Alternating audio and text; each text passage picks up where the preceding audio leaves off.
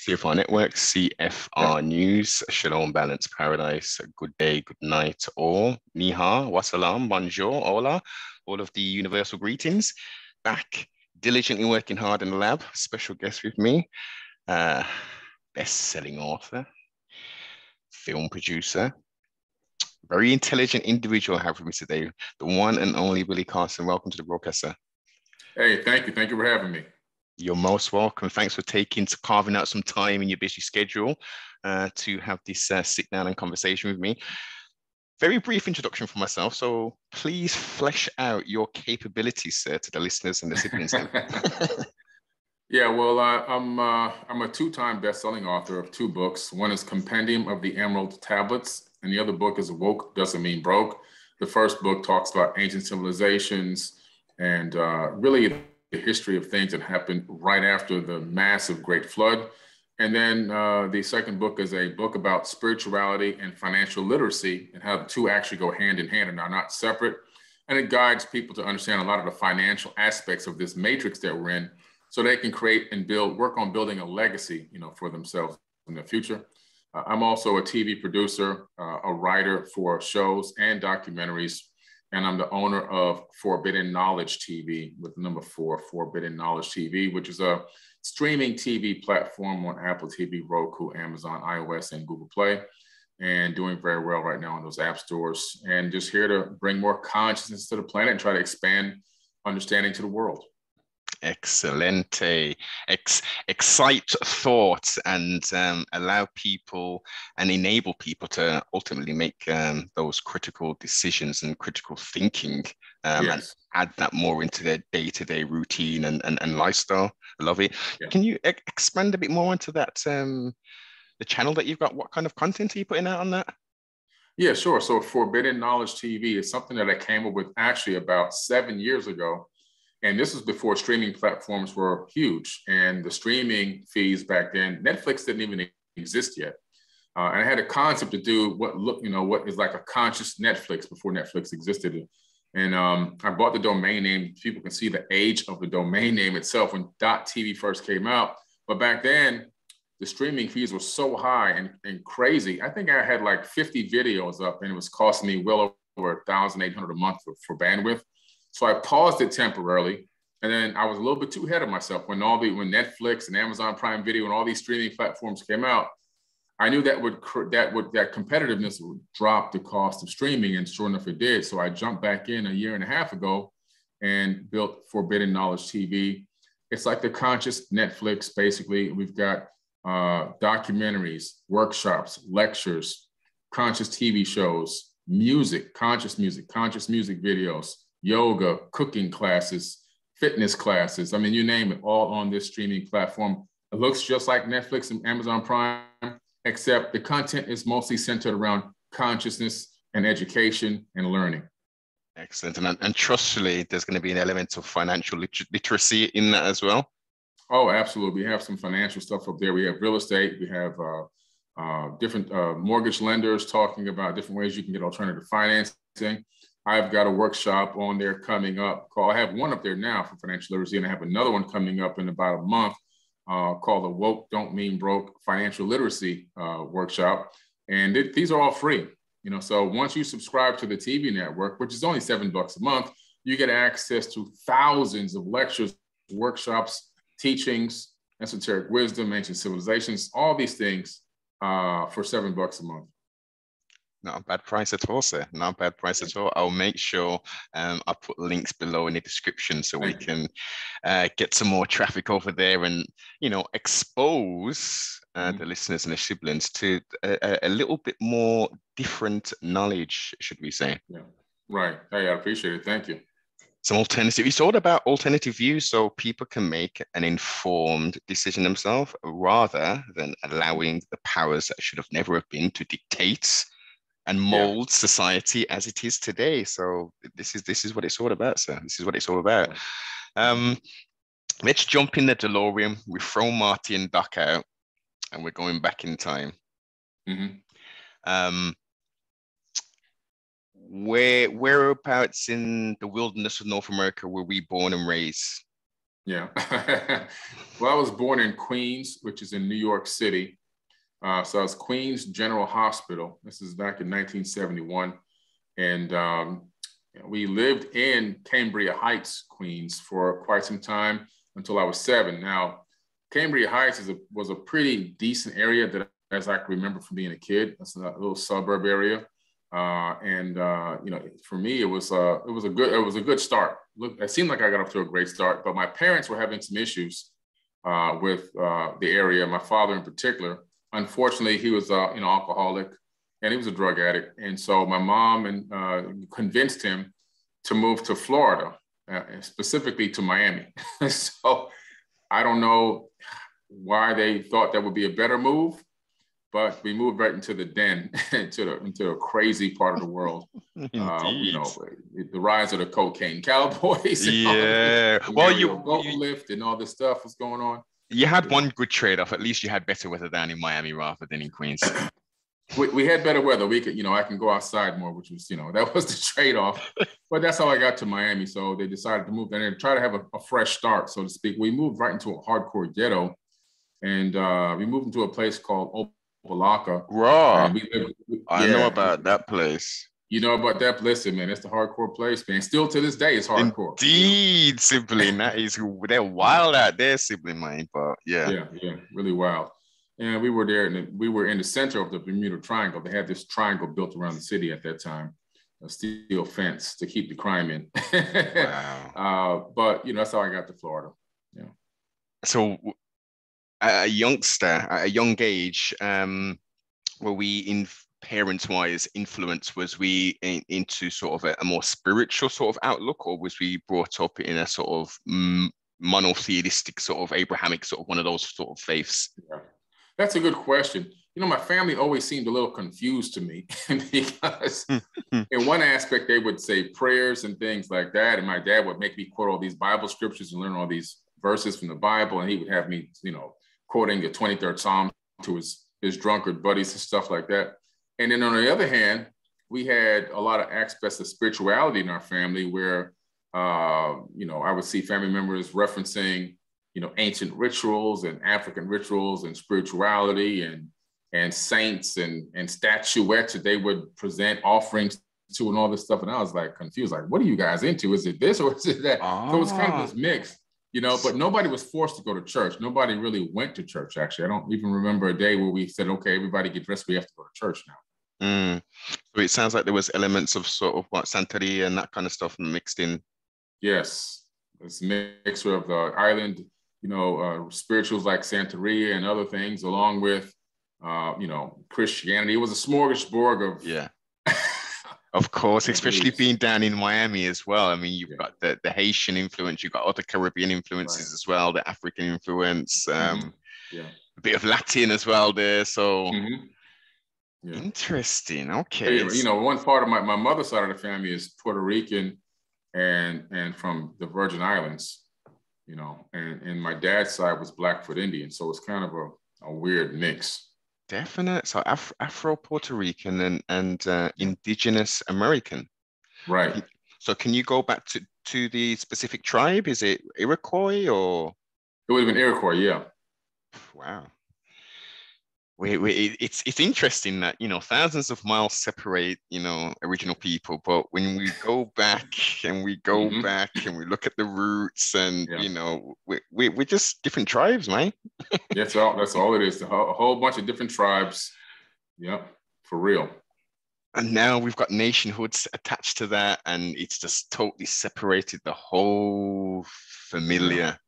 But yeah. you know, slowly but surely, we're chipping away. We're breaking the yeah. barriers down. Mm-hmm. Um, we're creating that that sense of a of a, a, a global community. Yeah. Rather well, the internet has helped with that, thankfully. Say that again, sorry. The, the internet has helped with that ability oh. for us to create a global community. It's been breaking down a lot of invisible walls tremendously. I mean, look what, what we're doing at the moment. We're, we're utilizing technology for a better cause rather than using it to go on Twitter and be an anonymous sort of hater or make crazy right. videos about people and stuff. It's it's an interesting world. I mean, especially in the growing year of 2022, it seems more and more apparent that hate mm-hmm. is the new love. Yeah, I know.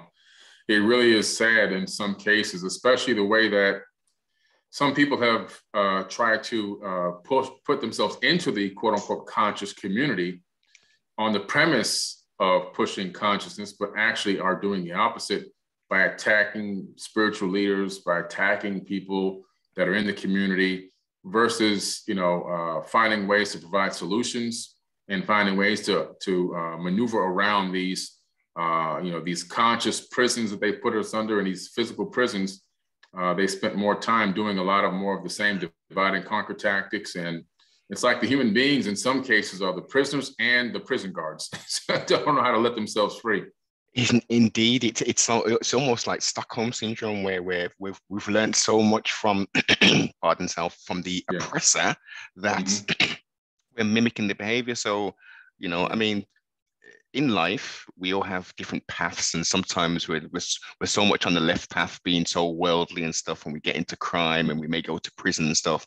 But there comes a, a time in some people's life, especially in a male's life. Let's look at it in that respect we throw away the boy stuff, the childish stuff, and we become a man and we realize, wait a minute, the world is a big place. Mm-hmm. I have a place in this world. What's my what's my mark going to be within this world? Mm-hmm. And what kind of legacy and dynasty can I bring forth? Exactly. Exactly. Yeah, that's it, man. That's where the mind needs to be going. How can I build a legacy? How can I leave something behind for the future generations that's going to inspire and also give them the ability to maybe have a, a little bit of a footstool that they can step on versus starting from zero every single time. Exactly. That, that, it's incumbent on us now, in so much importantly, in, in this sort of time and era that we're in, where we've got cryptocurrency access to and all mm-hmm. sorts of ways to generate multiple different revenue streams. It's it's this time now we need to be as smart as possible, make the the, the intelligent investments create right. the new whatever it's going to be if you have that that that creativity and that creative spark should we say and mm-hmm. then 10 years 20 years 30 years you've got children they have you as you say that footstool to say yeah. i want to create this business okay i've got 150k ready and available okay that's a start mm-hmm. for me mm-hmm. to get my foot on the ladder exactly that's exactly what it's all about people tend to think that I talk about financial literacy because I believe materialism is great. No, no. I'm going to live now. I'm going to have my heaven on earth now. At the same time, I build for future, for generations, for legacy. Because if I know if I focus on building legacy, my abundance is guaranteed. That's just the side effect of building a legacy. And so, you know, they, they've mistaken the, uh, uh, you know, the concept. Uh, sometimes you show an imbecile the moon and he points at the finger. You know, so you have to really, you know, you know reinstill these these uh, things over and over again to people. No, it's about understanding that you don't have to be financially oppressed, suppressed. And as things change in the world on this really hectic scale, like for example, what's going on in Russia is affecting global markets. People are just next to a lady who was complaining about she lost seventy thousand dollars in the market. Well, if you understand what it means when these things occur, then you can actually capitalize on them and keep your legacy growing even in downtimes. You know, so these are the things I try to teach people. It's so so important. It, it's mm-hmm. a very much a tumultuous time we're living in, but at the same time, looking at it, it's with the cup half full, as I always do. It's a beautiful mm-hmm. time. There's so yeah. much opportunity, so much opportunity. You've just got to yes. have the, the the the courage, the gumption, the persistence. Yeah. Um, you know the consistency mm-hmm. to do it just step yeah. out it's a big wide world you just got to step out and do it yeah absolutely just got to take this step off that cliff and have to have faith in yourself mm-hmm. not in outside sources not in other people not in extra you know dimensional deities faith in yourself when you take that step and because it's only yourself that can save you well this the scripture says as you may know um, faith without works is a death. Yeah, that's right. That's right. And that's a fact. You, you got to put the work in, man. And it, it goes in. I mean, we, we have, you know, some listeners who are agnostics, uh, atheists. Um, most do believe in some sort of creative force, but generally, it, it it's about you doing the work You can't sit around thinking, as you say, of an external force or, or your friend coming to say, yeah. you know what, you know what, Steve, here you go. Here's here's 50 quid. I know you know you, you you know you ain't got much money. No, no, no. If you haven't got much money, you've got to go pick up some cans. You've got to take yourself yeah. to some interviews. You you know, you've right. got to have a, you know, you got to do some. Yes. You got to put that work in. Money is a energy exchange. It's the side effect of an energy exchange, I mean. So uh, if you want money to show up in your account, you need to exchange energy in some way, shape, or form.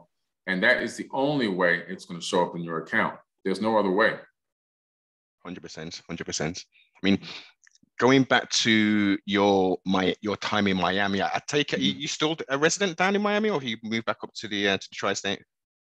Well, now yeah, now I'm in. Uh, I moved up to Fort Lauderdale, northwest Fort Lauderdale, as far north and west as you can go in Fort Lauderdale before you go into the next county. So I'm in Broward County still. Uh, but uh, you know, when I was 16, I moved uh, just not too far away. Uh, moved uh, to a brand new community in North Miami, and then from there I moved out of Miami to Broward about a year later, and then from there I just kept moving a little bit, edging my way west and then and north, west and north, little by little, until I got to where I am now. Fort Lauderdale, beautiful place. I haven't been there since '92, I think, but yeah, oh, beautiful wow. place. Yeah. Uh, yeah, I would. I wouldn't mind get, getting back to uh, the wilderness of North America, especially doing a bit more of a traveling down south rather than uh, the, the tri-state area. Okay. Um. Once we can get this um, crazy traveling situation sorted, I will be hmm. um, one of the first on the plane. nice, nice. Yeah, man, you got to do it. So your journey, how did we, how did we? What was the spark that mm-hmm. said? Mm-hmm I want to start looking into, you know, our story and his story and making yeah. sense out of nonsense. Right. yeah. It all started really um, in Miami, but the initial seeds of the, you know, the rooted seeds started before Miami. So in New York, I was reading at a very early age. And as I said, my father would make me quote scriptures and things like that to his friends at bars. You know, he'd have me in the bars as three year old sitting on top of the counter quoting the 23rd Psalm and all these things. And, and all these things, he would ask me math questions and, and multiplication tables. And, it, you know, I guess it would have done his friends or whatever. But through that, reading that, the Bible and doing book reports on the Bible, you know, at those young ages, I started noticing discrepancies in the information. I started noticing contradictions. So I already had those seeds in my head, like this thing, there's something in here that just doesn't make any sense. And nobody could answer my questions about these things. But fast forward to New York, uh, fast forward to uh, moving to Florida from New York, and we're in Miami. I'm out in my backyard uh, watching airplanes go over my, my backyard because we were close to the Opa-locka Airport. And it was just a cool thing to do. No TV, there's no cell phones, people's pages, no Wi-Fi, none of this. Cable TV didn't even exist. So you couldn't watch cartoons all day, right? old you know, school. Four, old school, super old school. Four channels, the 70s, four channels on TV. That's it. You could mm. barely get those tuned in. And so I'm outside watching these airplanes go over and just observing them because it was weird that it would take them so long to clear the horizon in my backyard from point to point. But I knew that they were moving fast because you can you have to move fast to stay in the air. Uh, and then this one day, this object came across more oval, not round, but more oval shaped, and it went across the horizon in seconds, not minutes. And that's when I was blown away. And I was like, what did I just see? And it came back, then it stopped. But this time when it came back, it was lower. It was only about 300 meters maybe above me. What? And then it just went, and it was out the way that it came in originally. And it was like in a flash. I mean, literally in blink of an eye, it's gone. And I was like, what did I just see?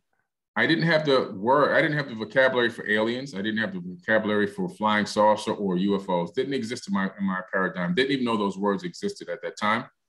What I did know was it didn't have a cockpit, it didn't have uh, wings, a tail fin, you know, a fuselage it was more of this glowing orb that was more elongated and oval shaped, like gleaming metal. And I said, What in the world was that? Nobody could answer me. And so I went to the library at school, Rainbow Park Elementary, and I got all the Encyclopedia Britannicas on aerospace. And I started studying aerospace. I was looking for, you know, what I saw it intrigued me so much. And I was reading, uh, I was looking for, you know, delta wing and swept wing and hmm. supersonic mm. transport and and rocketry and, and all these different things. Even the early stages of anti-gravitics, which was really propelled by fans and jets. These one-man things that that um, military soldiers would get, and they would lift them off the ground yes. and make them maneuver it all around. All those things. This is in the 70s, in which these things have already been invented back in the 60s. But I still found nothing. I even looked into the SR-71. They even had a little bit of information on some of the experimental testing on that. I'm like, this isn't even close to what I saw. So that drove me into become a kind of a quasi aerospace historian and I started studying deep, deep, deep into aerospace and rocketry and everything else just on my own, just because it was a passion. And eventually, um, that led me into the modern era where I was working on a, you know, studying astrophysics took me into understanding some potential things that can happen in the future. Like there's a there's an asteroid named Apophis, and there's a few other anomalies out there that could come into a collision with Earth. And I was hypothesizing, what if these things really do happen? What if we do have a collision and we can't stop it, we can't move it or shift its orbit? The best thing to do is have an underground shelter. So I started working on this underground shelter project back in around 2010. Uh, and so this project actually made it onto the History Channel. So it's a huge project. Is this private or government backed? Private, all private. Yeah, it's a $20 million project. And how I funded it was I funded it by creating a membership program and having applicants who wanted to be in the shelter with me. I built an underground community, hosts 360 people, uh, a very stringent application process, and you buy your space for the future of you know needing to get in there in case yeah. there is a catastrophe. And so I funded it with its own members, and so I funded the whole project. wow. You know, yeah, yeah. So $20 million project. Um, uh, and so, but during this process, I had I can't even, there's no other way to say it other than exactly what it was. I had this a visitation, some type of an encounter. Uh, I was in my house one day after working on that project, um, and I was just watching ESPN news updates, sports updates, and it was around nine o'clock p.m. wasn't I wasn't tired, and the room turned this lavender color. The TV went and just went down. I thought my kids were playing a joke on me, so I look over my left corner to where my boys were being in that left corner upstairs. Nobody was there. Nobody was playing with me. Nobody, there was no nobody there at all. Now the kids were in the house, but they went outside the room. And I was like, what is going on? When I turned around, I was originally going to go upstairs. So I turned around, what looked like these two gray alien beings were in my face. Um, you know, I, I, I mean, it, it, took me a long time to even talk about this because it, it's just a, a situation where I didn't get any good, nothing good came out of this whole situation. It ended up mm. causing a lot of turmoil in my household, as well as uh, one of my kids is still afraid to come to my house to this very day, one of my sons. But it looked like they had their eyes were these almond, giant almond shaped eyes, but they didn't look like uh, biological eyes. It looked like they were of some type of covering on them. And I was sitting in a chair, much like I am now, a couch. So they were probably four, four and a half feet tall. So we're talking uh, about a classical Lam, Lam kind of description. Yeah, yeah, yes, I am. Yeah. Whoa. And they didn't communicate with me with any words telepathically that I can understand, but they, whatever they were doing was making my brain shake in my skull. Like literally, my brain was uh, shaking. I started screaming because of the pain, and even the sound from my scream wouldn't come out. You, you couldn't hear anything. You can I can feel the air and the wind coming out, but I couldn't hear it. And um, within 30 seconds or, or, less, it was over. They turned around and they kind of dangled away because they don't walk normal, and they left that room, the colors came back, the, the light, the lavender color went away, the TV came back. I went running around the house. Nobody heard or saw anything. Um, it freaked everybody out, caused me all kind of problems, a lot of stress in the household. Um, but one thing did happen that's amazing is this phrase, worldwide telescope, worldwide telescope, worldwide telescope. It was burning in my brain over and over and over again, thousands of times. I went to the computer, and I typed in worldwide telescope on excite.com. I'll never forget this because Excite was a search engine like yeah. Google, but back then yes. they had you know, Alta Vista, you had Excite, yeah. you had, yeah. So I go to excite.com. That was the one I liked back then. So I typed in um, uh, worldwide telescope. And the first search word, the first search link that came up was worldwide worldwidetelescope.org. And I almost fell out of my chair I clicked on the link. At that time, you had to install the software to access it. Now you can install the software or you can use HTML5 to, to do it. Yeah. I installed it, I executed it, I ran the software program, and it opened up. It was access to the space probe data from all the missions ever sent into space. And wow. it was from the perspective of the probes. It was a probe data. It was incredible. Um, and all the Hubble telescope data as well was all combined into this thing. It was like the ultimate Google Sky, you know, yeah. software program back then. And the first thing I saw was Mars, and then I saw Mars panoramas. I said, okay. Then I saw rovers, Opportunity, Spirit. I'm like, okay, uh, uh, let me click on it. Click on uh, Viking. I clicked on Opportunity. I believe went in there first, and I start looking around. It lets you look from the actual mast cam of the actual rover, and you can zoom in, zoom out, pan left and right. It was incredible. And I started seeing things on the ground that didn't look like they belonged on Mars. And I'm going, wow, this looks like dilapidated structures, just like broken statues. Some of the things I saw resembled things from the ancient Egyptian civilization, some things from Peru. And I said, wait a minute, whoa, how can this be there? And we have these same types of things here. And that's how I dug deeper into the ancient civilizations. I was already just researching mainstream ancient mm. civilizations because it, it, it was exciting to me, but I didn't go deep into the connections. Now that took me down a whole new rabbit hole into ancient civilizations beyond what I had been researching before, and then making the connections and ties between advanced technology and ancient civilizations. Uh, and that's how I really got deep, deep into all of this. So let's let's stay on that particular point because I've seen the, the, the, footage and the, the imagery and stuff of the the the pyramidal structures on Mars and stuff yeah. and faces and stuff like yeah. what's the, what's the explanation? Well, if you look into the yeah, if you look into these ancient Sumerian cuneiform tablets, it's called the there's a few of them. One's called the Enuma Elish and the mm-hmm. seven tablets of creation. Mm-hmm. And the other tablet is called the Atrahasis, the Epic of Atrahasis. And so these tablets tell an incredible story that date back tens of thousands of years uh, about these beings that arrived here into our solar system from another planet, that they came to not just Earth, but they came to Earth, our moon, Mars, and moons of Saturn and Jupiter to create a breakaway civilization and mine this area, this sector of the galaxy for resources uh, and Earth was just one of them, and so was uh, so was Mars. And it talks about the fact that there was a group of these beings, and the tablets call them the Igigi, I G, I G, or uh, yeah, I G I I G I. And so these beings, um, they weren't slaves, but they were forced to continue to work on Mars even under its harsh conditions. And they built a civilization there, and they were mining resources on Mars. Now, so that told me something that there were two concurrent civilizations, one on Earth and one on Mars, running at the same time. The one on Earth, they had um, the humans living in a slightly setback technologically era than the ones that were up on the people that were up on Mars.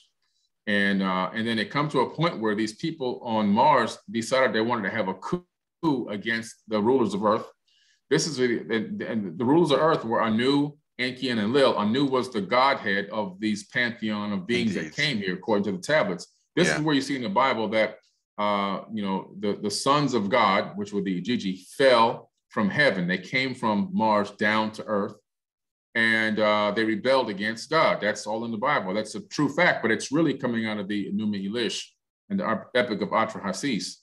Uh, and it even talks about the fact that once they decided to avert the first war, which which they ended up having one anyway, but they averted the first one by genetically modifying the existing people that were on this planet, us, our cousins, before they were Homo sapien.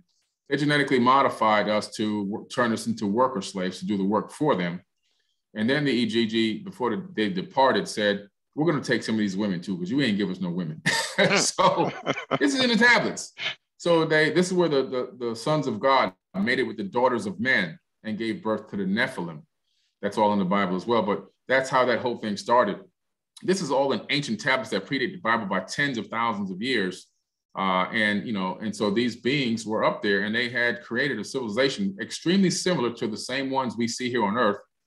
Our, we've got ankhs up there. There's statues that resemble Egyptian type statues. There's hieroglyphs. There's uh, we found sarcophagi. We've all this stuff is up there on Mars, just like it is here on. Of course, pyramids and temples and everything else. And is this all, all, up there? Is this all down to synch- synchronism? Why? Mm-hmm. How we have those? Obviously, two different planets and two different peoples of sorts on there, creating yeah. the same type of, of structures and stuff. Well, it all come from one master architect. You know, if you look back into some of the text, for example, Thoth, the Atlantean priest king who ruled over the land of Chem before it was called Egypt, pre-dynastic era for 14,000 years, he handed down a whole script of these architectural guidelines to everyone, all his people, to go mm-hmm. duplicate these building of these structures in different places. Uh, in essence, so that's the blueprint. The blueprint was given out, and it's just right. Yeah. It's, it's, just the same as we can say reference the um, the flood, the flood epic. We can see that mm-hmm. in multiple um, ancient manuscripts across the, the, the, this plane of existence. Yeah, um, exactly. All saying different, slightly different variations, but ultimately mm-hmm. saying that there was a flood um, that mm-hmm. wiped out, you know, the majority of the populi apart from a certain sect of people, right? Mm-hmm. Right. Same exact story. Same exact story in Thoth's Emerald Tablets that he left behind, a 36,000 year old text. It starts off that the flood waters finally started to recede and the ancient temples were coming up out of the mud.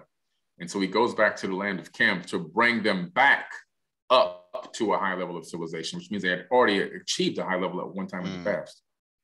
So what was the what was the fall then? What, what do you what do you contribute to the fall?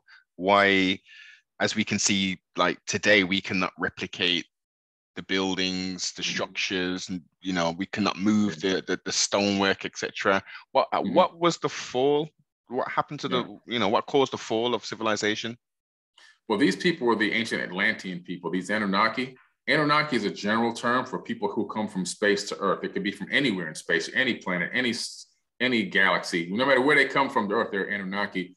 But the specific race of people that went to war on this planet were called the Atlanteans. These Atlantean people were highly technological. Uh, and then at some point, they decided to start battling with one another. A lot of these attacks and these wars made it into the Bible under the book of Deuteronomy. You can read the book of Deuteronomy. You'll see these attacks, which appear to be ordered by God, singular. But when you translate the text, you find out that it's actually God's plural, and that these gods aren't even the creator of the universe, that they're actually people giving orders uh, to regular humans to go fight and battle for um, you know resources and control of other humans in other areas on the planet. Uh, and so uh, these wars persisted. There's also a great war that occurred, two pyramid wars, and they were all started by Amun Ra, who was also one of these Anunnaki Atlantean people. Uh, in the Bible, his name is Marduk. Marduk, He's also yeah. known as Marduk in the Torah. Uh, and in the in, in, the Sumerian cuneiform tablets, in a newer version stone that's only about 5,000 years old, he's known as Marduk, uh, but his name is Amun Ra. If you go into the older um, the older versions, and then it goes all the way back to where then the person the name has been called Nibiru. It's a weird uh, thing, but I've got a whole timeline on it. But anyway, yeah. this guy wanted to take kingship of the planet Earth ahead of his appointed reign. They used to reign the planet based on the precession of the equinox, and his was Pisces. He wanted to take over a whole thousand years before Pisces really started. And to do this, he created a war on Earth. Okay, that's one. Then the second time he was ruling and, and, and everything else, he's ruling so brutally and, and trying to take over so many other regions of the planet, which were, which were being run by his relatives, so to speak, uh, and creating so many wars uh, they ended up trying to assassinate him and he ended up fleeing back to his skyship. Uh, but he left kingship of his finances and the kingdom to his Ra Kam, K A M. And Ra Kam translates into Ra Shield.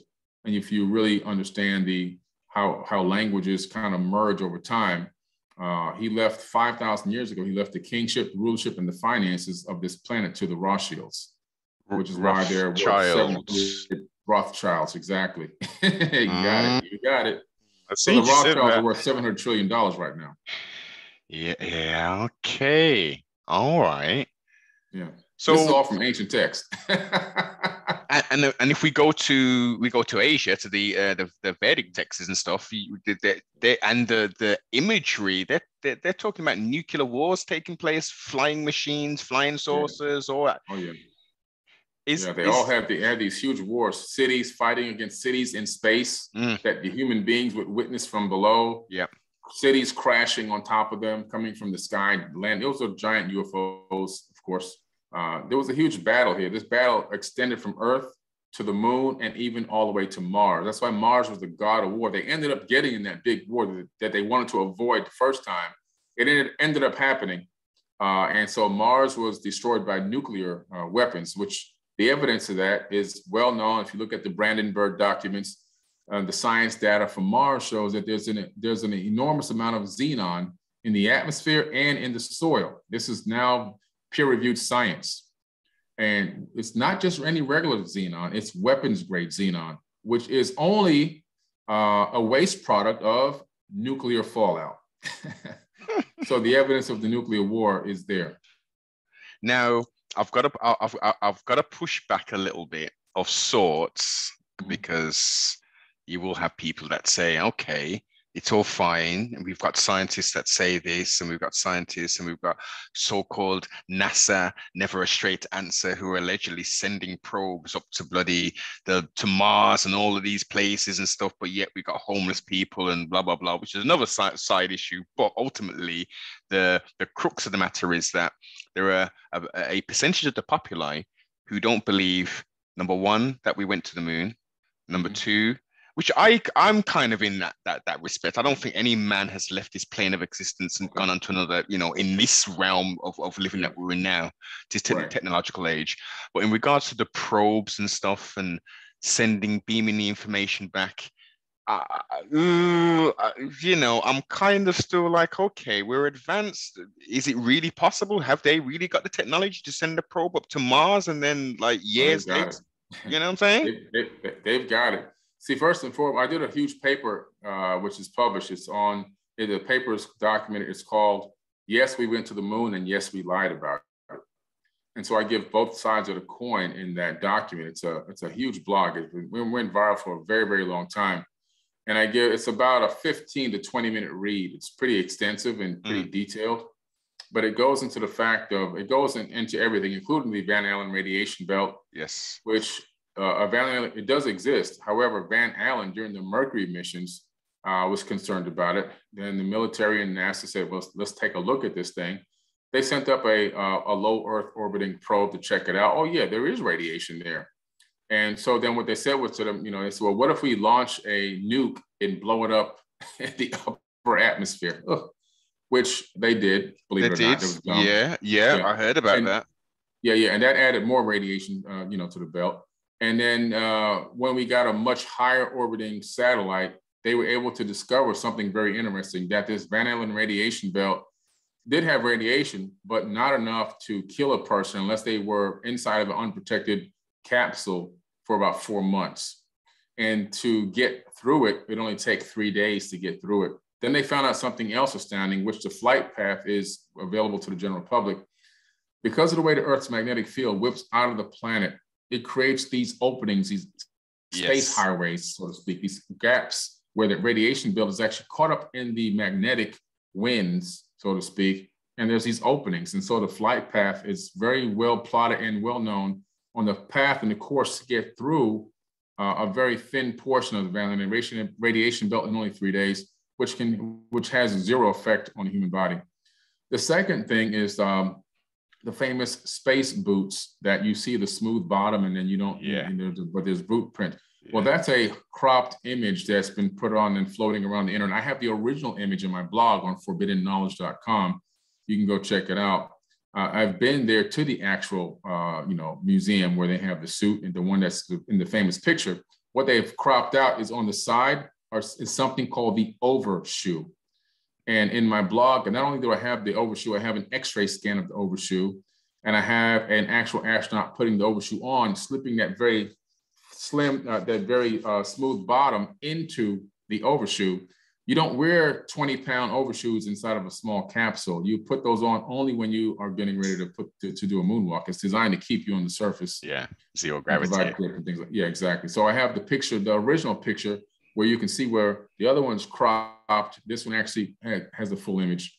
The other reason why they did this moon mission and lied about it was because when they sent a low moon or moon orbital uh, uh, satellite up to just check out the moon, they found a lot of incredible anomalies and structures, some standing, some dilapidated, some in good condition, and a bunch of stuff scattered all over the, the, the surface in different areas that looked technological. And so the mission really was a recognizance mission. It was to go gather these things and some of this stuff and bring it back so they can analyze what in the hell happened, what's up there, and can they reverse engineer any of this stuff. But to the general public, it's all was kept hush hush top secret.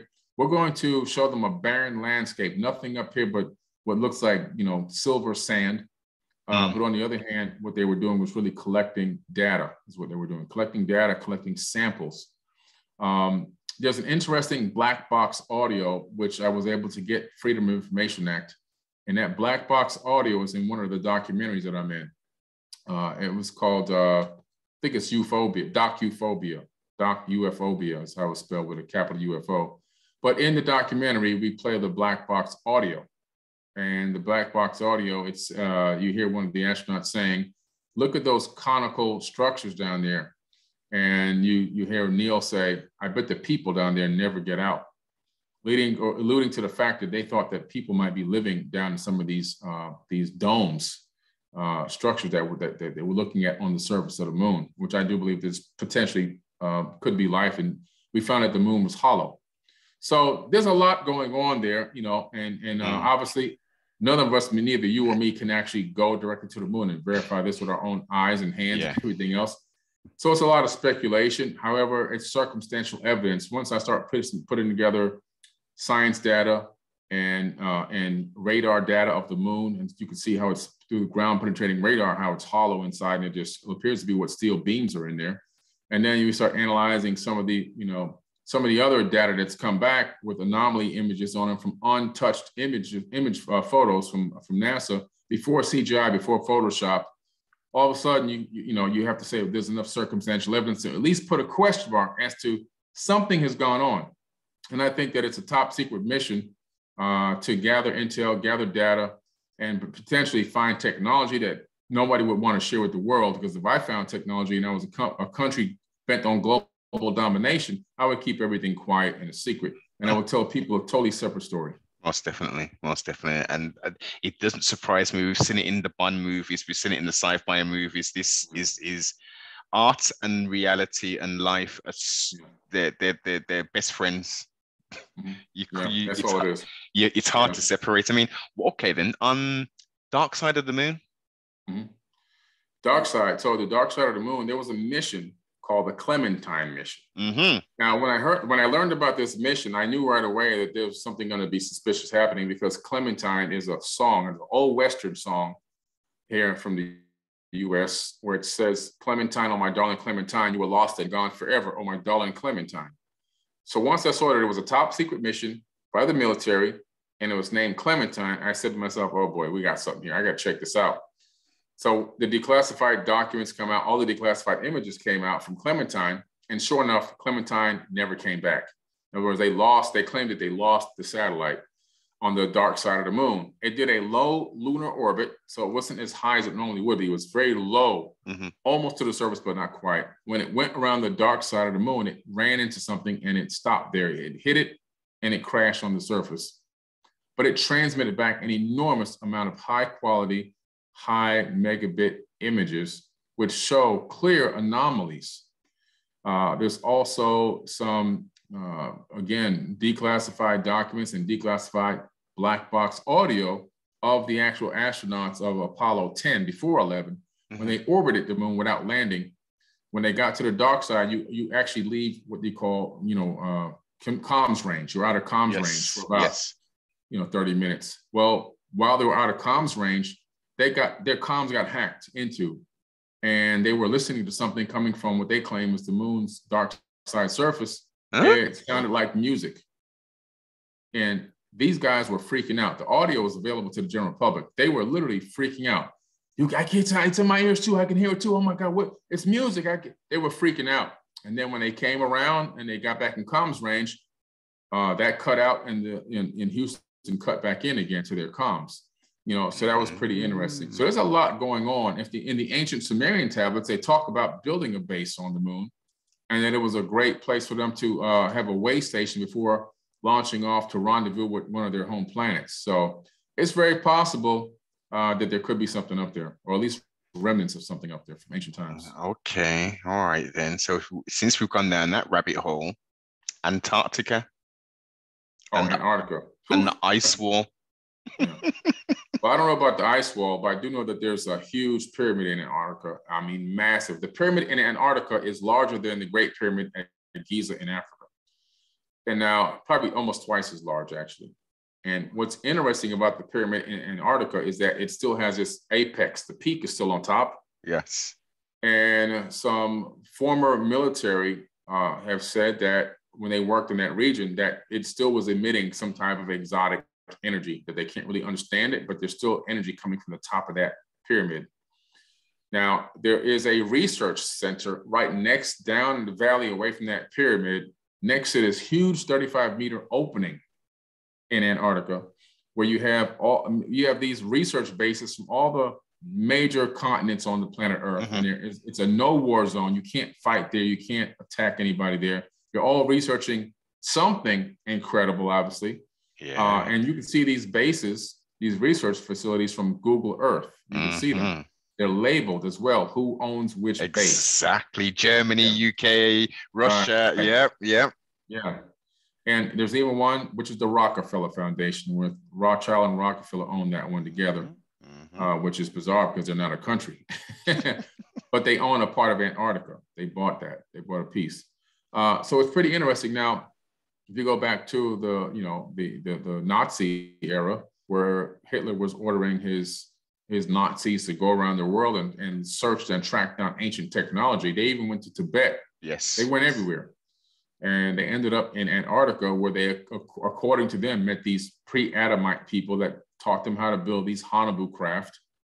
And um, you know, we ended up going under to see what the hell was going on, and some of our marine ships got attacked by these craft and destroyed, and sent us back home packing, you know, with our tail between our legs. So they had developed something down there uh, that had the capability of maneuvering and and doing things that we had never seen before.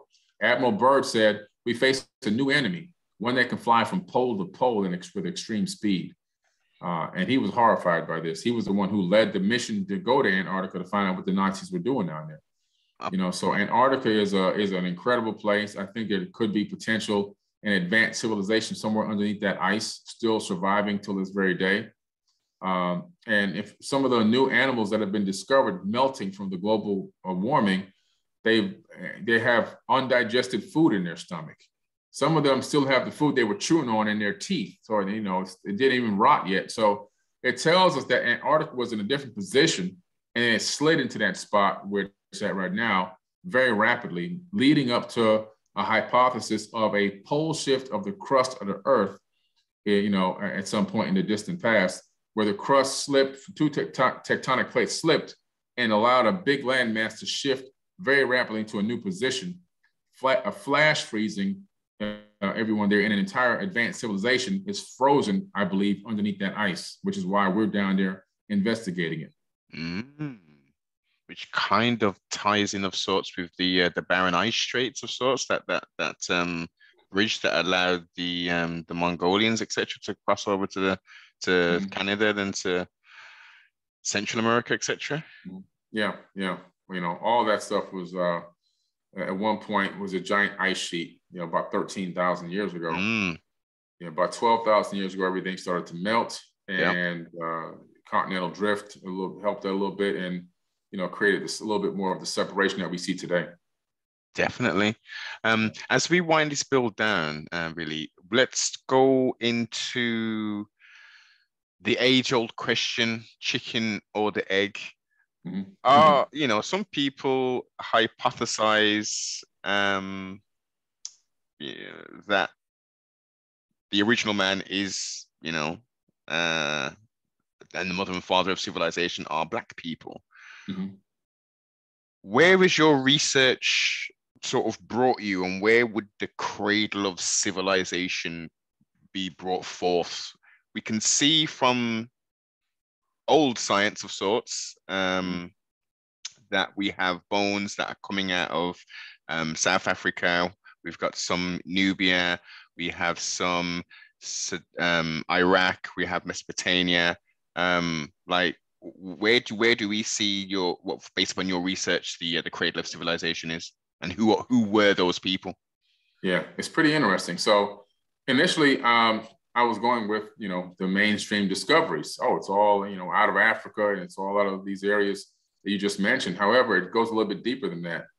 And so when I went to Australia and sat with the Aboriginal people, the Aboriginal elders, they have a uh, tens of thousands of years of handed down verbal history that goes from elder to elder. And it's the same story uh, that I found in ancient texts from all around the world. And it's that people were brought to this planet.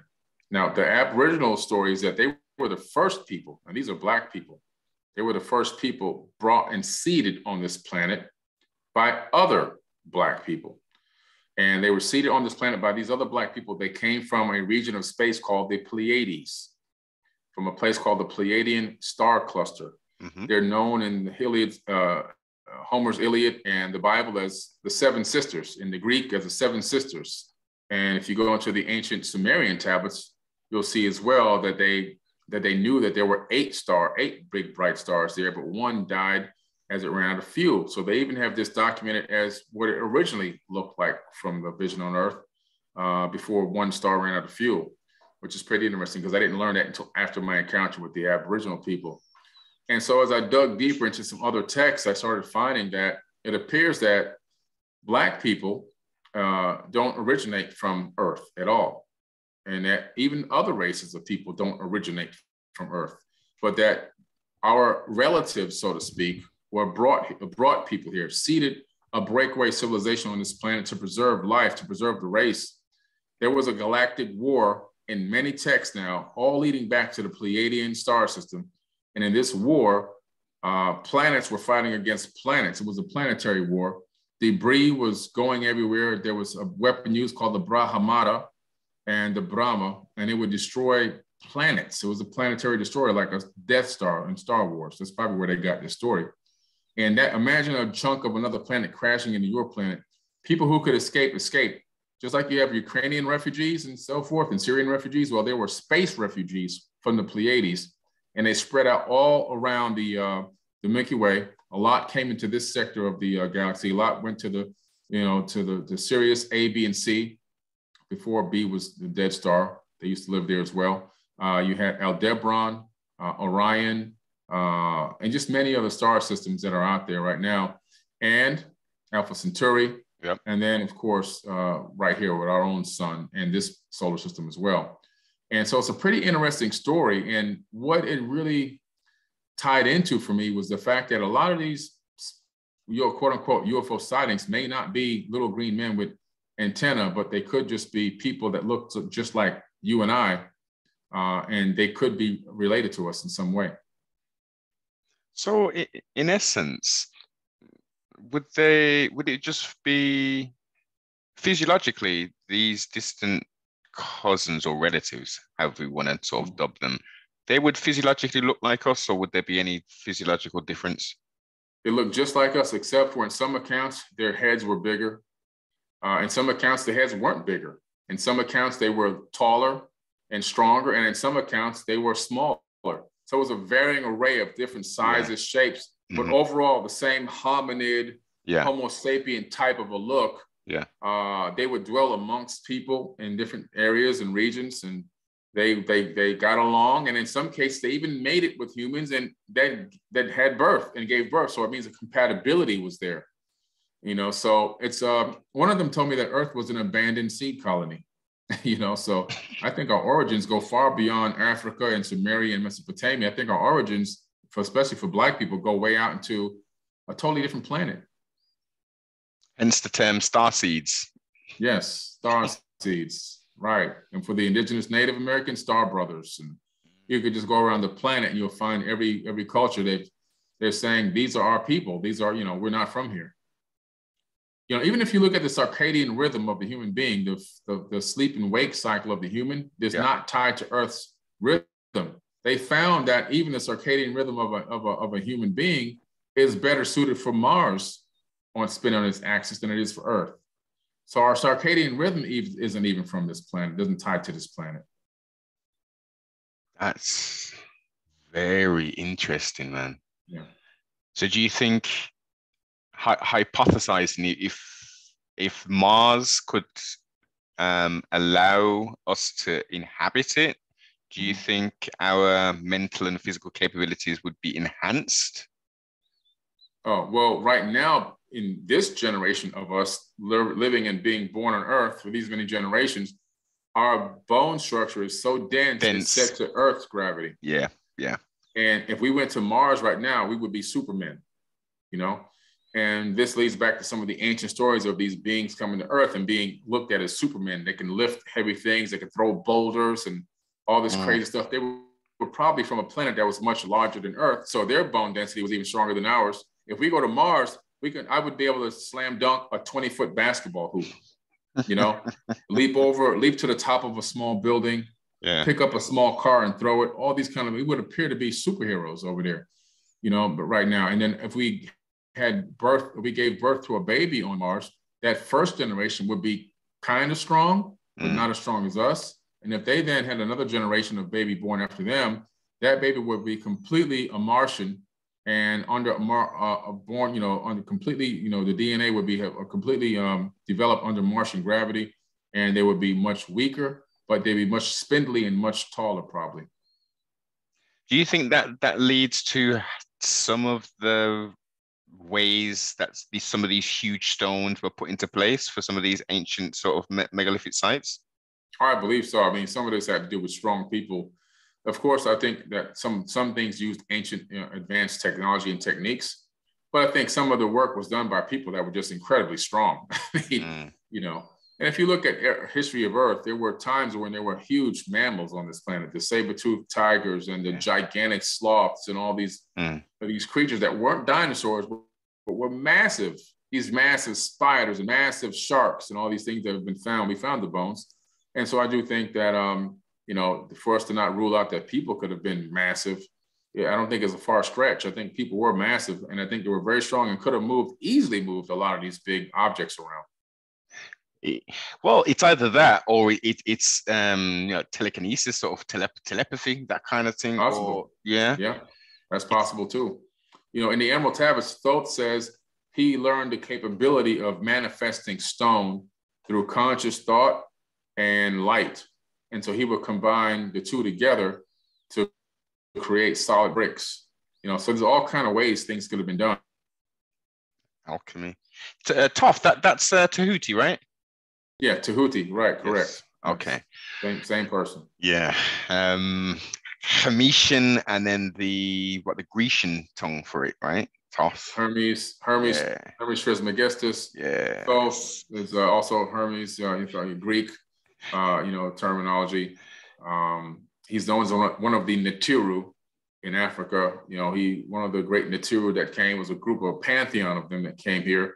And according to the Egyptian Book of the Dead, they turned mud into a kingdom. Just what what era and what part of Africa are we talking? East or west? Well, we're talking uh, in the Egyptian uh, area in the land of Kem. Ah, That's where they started out. They started there first. Okay. Okay. Excellent. Um, two last questions for you, sir. Firstly, have you had fun today? Oh man, listen, this is great. This is great. Uh, it's always good to talk with an intellectual like yourself, man. You know, and it's great that we can have opposing opinions on things, but have a great conversation. And because it teaches people that you can talk to somebody and have opposing opinions and still have a and have an educational debate or a, a conversation that doesn't lead to to arguments and, and, and, and attacks. It can be it can be well sought after information on both sides. That's what it's about. It's all about the discourse. A discourse or a debate is absolutely fine. An argument shows lack of integrity, lack of right. emotion control, and lack of respect for you and yes. the person you're speaking to. Yes, man. Thank you. So thank you. I appreciate you for that, man. Thank you. Honors, honors. Um, last one for you. Please tell us who you are, sir, but do not tell us your name. Okay. Well, what I am is a space traveler and a time traveler. And what I mean by that is I'm on a planet that moves through space, in my opinion. And how I travel through time is I create ripples in the space time continuum that alter future realities in the third dimension. Love it. that was quick. I like the way you you you you for, you formulated that latter part. That was excellent, Sibling. Um, please throw out all your social medias, your websites, and as I say, I'll make sure I put the links below in the description. Okay. Well, you can follow me at Forbidden Knowledge with the number four on all social media platforms. For B I D D E N K N O W L E D G E, and you can also go to my website 4biddenknowledge.com. Excellent please make sure you go over and check out um, Billy's website. Um, if this is the first time you've come across a brother, I'm pretty sure you haven't, but if this is the first time you have, the, there's a plethora of content available. Support, like, comment, subscribe, share, tell a friend to tell a friend to tell a brethren to tell a sister to jump mm-hmm. on the train. Thank you so much. I appreciate you, man. Honest, honors.